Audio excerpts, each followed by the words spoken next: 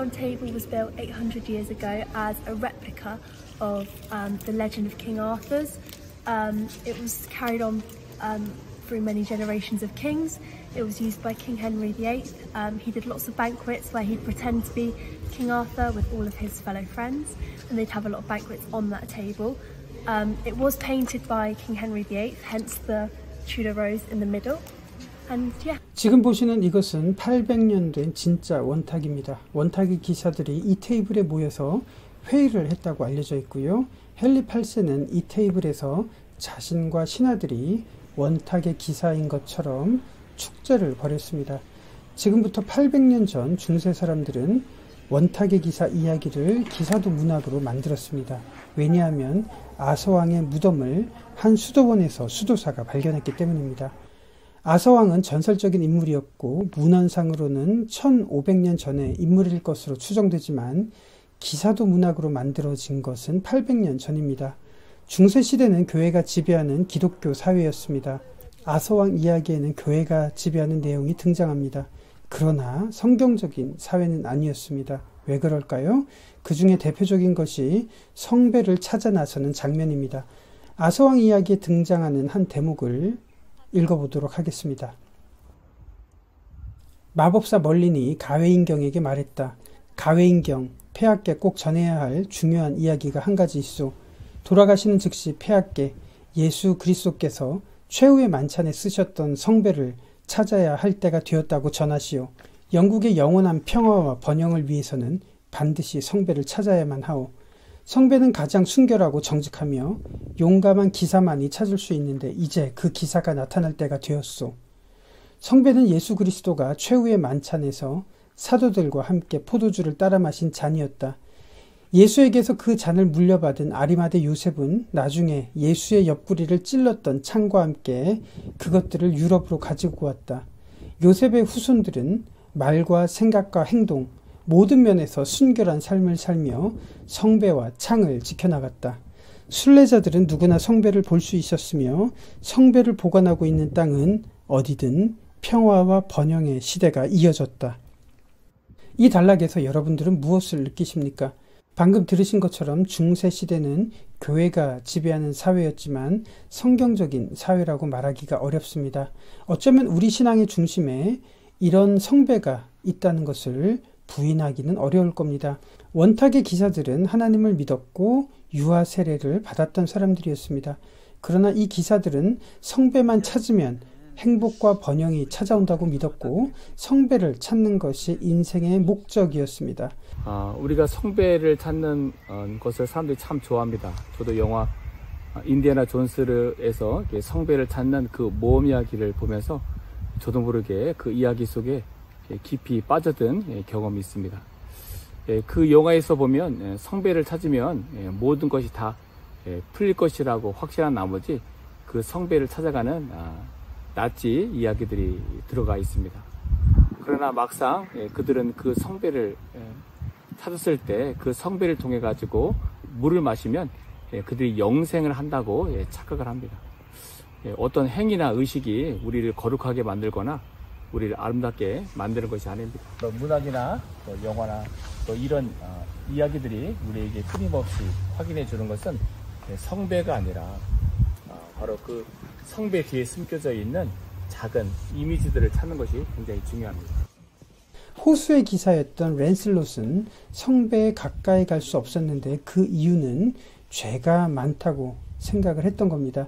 이것은 우리에게도 연결되는 부분일 겁니다. 성공과 부를 얻으면 기도를 많이 해서 그렇다고 생각하고 그 반대의 경우에는 기도를 안 했다거나 죄가 많아서 그렇다는 인식은 지금이나 중세나 본질적으로는 같을 겁니다. 10계명 제1계명의 본질이 하나님을 의지하고 오직 하나님이 우리를 통해서 이 세상에 드러나게 해야 한다는 것을 우리가 지난 시간에 살펴보았습니다.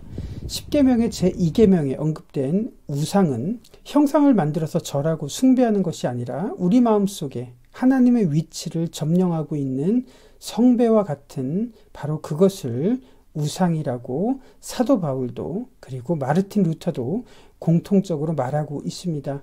과학이 우리에게 많은 지식과 이해 그리고 혜택을 주었어요. 하지만 지나치면 과학 만능주의가 되어서 우리의 삶의 우상이 될 수 있어요. 왜 우상에 빠질까요? 하나님과의 인격적 교제 안에 있지 않고 하나님 말씀을 마음에 두지 않기 때문에 너무나 쉽게 눈에 보이고 귀에 들리는 것을 따라가게 되는 것 같습니다. 우상은 역사 속에서 형상을 가질 때보다 형상이 없을 때 훨씬 무서웠고 광기의 시대를 만들었습니다. 영국 국왕 헨리 8세와 교황 클레멘트 7세가 누가 교회 머리였는지를 놓고 다투던 것이 16세기의 사건이었습니다. 이 당시 유럽은 교회가 지배하는 사회였지만 자신들이 교회의 머리라고 주장했던 이 역사, 그리고 교회들은 교황과 왕의 권력 뒤에서 이들의 정당성을 부여하는 시녀의 역할을 하던 시대였습니다. 그들의 주장에 반대하던 사람들은 가차없이 형장의 이슬로 만들었던 이 세상에 대해서 한스 홀바인은 에라스무스의 초상화를 이렇게 그렸습니다. 에라스무스는 그리스어 성경을 번역해서 시대의 잘못된 관행에 저항했던 인문학자였습니다. 그리고 그는 루터가 종교개혁을 일으킬 수 있도록 결정적인 영향을 주었습니다. 교회가 지배했지만 성경적인 사회가 되기를 바라는 마음으로 에라스무스는 성경을 번역했고 한스 홀바이는 이렇게 그림을 그렸습니다. 네, 이번에는 10계명 제2계명을 어, 그림을 통해서 살펴볼 텐데요. 어, 제2계명에서는 우상에 대해서 이야기하고 계십니다.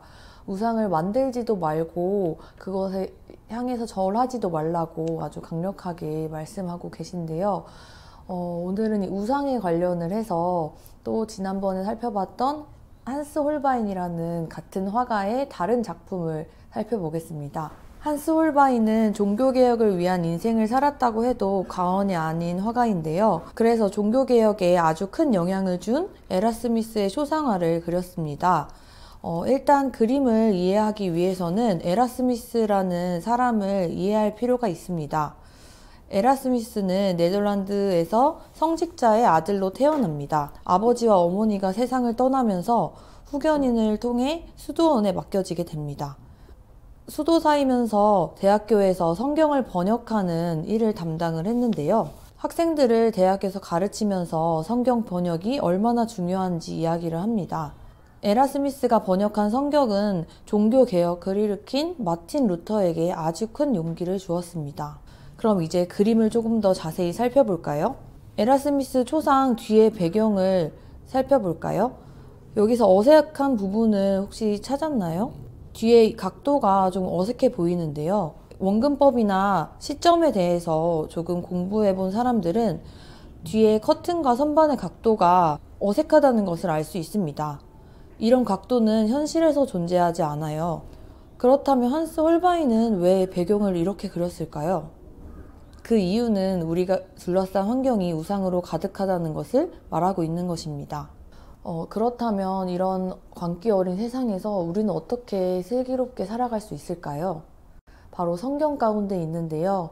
하이델베르크 교리문답 95문에 따르면 우상숭배란 말씀으로 우리에게 자신을 드러내신 유일하신 하나님 외의 다른 대상을 두거나 신뢰하는 것 혹은 하나님을 겸하여 그 대상을 신뢰하는 것을 말합니다. 하나님의 말씀을 듣고 마음에 두는 것이 중요합니다. 에라스무스가 들고 있는 책은 성경 책입니다. 왜냐하면 그는 성경을 번역했기 때문이죠. 그렇지만 책 옆면에는 헤라클레스의 12가지 과업이라고 적혀 있습니다. 헤라클레스의 12가지 과업이란 그리스 신화에서 여신 헤라가 헤라클레스에게 내렸던 12가지의 광기 어린 명령이었습니다. 어떤 의미였을까요? 그 시대가 광기에 빠져서 사람들을 이렇게 이끌고 있다는 것을 한술바에는 이렇게 말하고 있습니다. 그렇지만 광기를 극복하기 위해서 성경으로 돌아와야 된다고 에라스무스는 캠브리지 대학생들에게 강의했던 것으로 유명합니다. 우상은 눈에 보이는 신상 같은 형상들일 수 있습니다. 그러나 성경을 더 깊이 들여다보면 우리 마음속에 하나님의 자리를 빼앗고 그것이 우리에게 행복과 번영을 가져다 준다고 믿는 우리의 성배가 바로 우상일 겁니다. 시대의 광기는 바로 여기에서 비롯되기 때문입니다. 지금 우리 시대에 종교개혁이 필요한 이유도 여기에 있습니다. 교회가 지배하는 세상에 살고 있지만 성경적이라는 생각이 들지 않는 이유는 우리들이 저마다의 성배를 찾아 나서기 때문일 겁니다. 오늘 10계명 그랜드 투어 2계명은 여기까지입니다. 다음 시간에는 10계명의 3계명으로 그랜드 투어를 떠나도록 하겠습니다.